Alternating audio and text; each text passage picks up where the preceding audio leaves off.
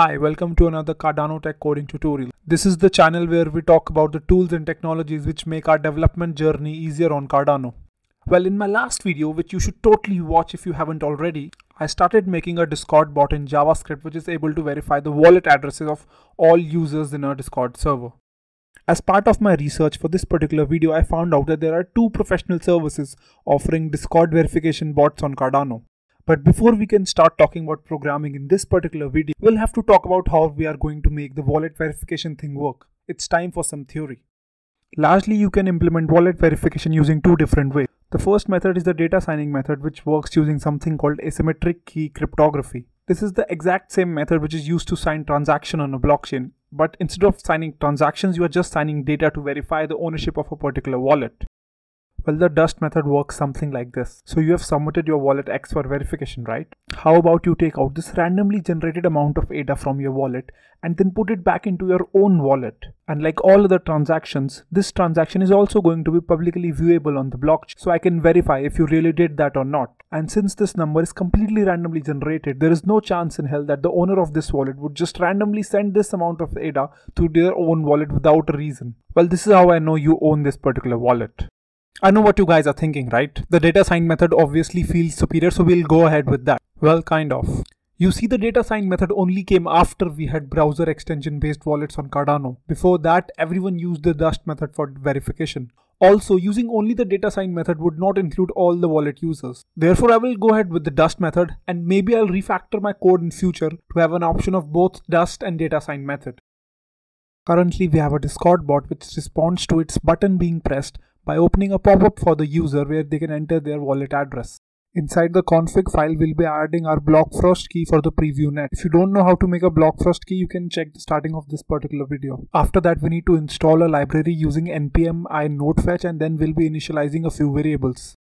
Now within our button handler function, we will also be looking for the modal submit interaction. As soon as we get a modal submit interaction, we'll be sending a reply to the user telling them that their address has been submitted. Let's have a look at this function. This function helps us in sending ephemeral messages to the user. Ephemeral messages are only viewable by a single user. Once the private message is sent, control is handed over to the verify data function. Let's have a look at it. This function first extracts the submitted address and then runs a check on the validity of the submitted address. After that, it checks if the user is already present in the queue or not. The getStick function is just a helper function which uses the Blockfrost API to return the answer.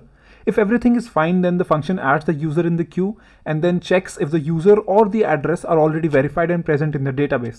Now that we have established the unverified status of both the user and the address, we instantiate two variables. The random amount variable, it is the amount of ADA that the user needs to send to their own wallet for the dust method and then the call time whose use will be revealed later. An ephemeral message is sent to the user asking them to complete the transaction and then the verify wallet function is called after sleep time. This should be around 30 minutes on the mainnet. Now our sleep time amount of time has passed and hopefully the user has submitted the transaction. First we get the list of all transactions which are present in a block minted after the call time variable and then check to see if either of them satisfy the uh, dust data conditions. If none of the transactions satisfy it, we call the failure function. Otherwise, we call the suck function. You can see that the get transaction function is using the Blockfrost API to return the desired data. Now comes the most important part. How do we verify a transaction? On Cardano, each transaction is a mapping of inputs to outputs. For a transaction to be considered valid, all the inputs of our transaction should have the same stake address and be equal to the stake address of the address submitted inside the pop-up.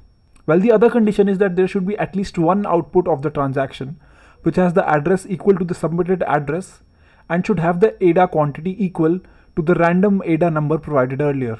You can see this logic being implemented inside the verify function which uses the Blockfrost API again for fetching the transaction inputs and outputs. Now only our suck and failure function are left. Let's check them out. The failure function just removes the person from the queue and tells the user that the verification failed. The, the suck function on the other hand adds the wallet uh, and user key pair in the database. After that it removes the user from the queue and then it informs the user about well, it. Well now we have gone through all the functions individually so you can see what my final button.js file looks like.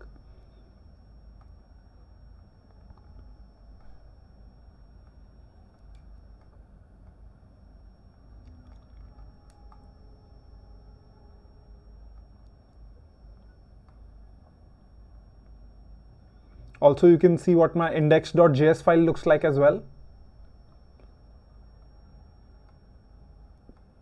Now all that is left to do is to test out this bot. So I'll be running this bot and now I'll try to verify my wallet against it. So it is asking me to input the wallet and I'll input the address for my Nami wallet.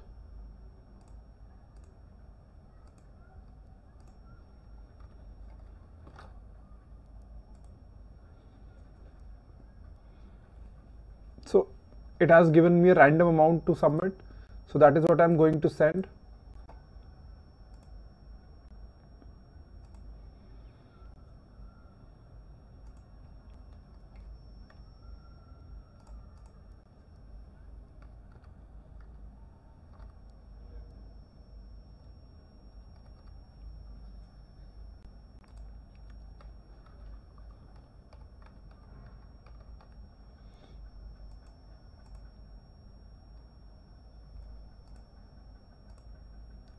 Okay, so oh, I've, I've submitted my transaction and now I'm waiting for it to complete.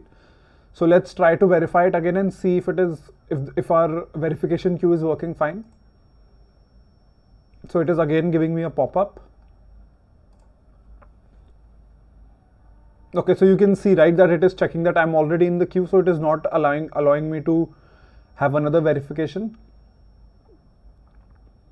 Now we, we'll just have to wait for 1 or 1.5 minutes So, so I've just got a message that the wallet verification was successful. Let's go back to uh, our text editor. Let's have a look at all the files. So you can see that I have this file called database.db. I'll print out the content of that file. So you can see that it only has one verified wallet currently in it and it only has a stake address and the ID of my Discord and then try to verify it again.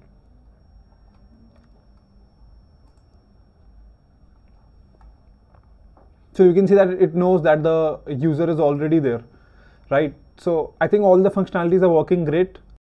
So we have reached the end of this particular video. If you really want me to implement the data sign method as well, then you can put it in the comment and I will do that in a later video so that you can feel like a cryptography hacker man and feel like you really have some cryptography knowledge.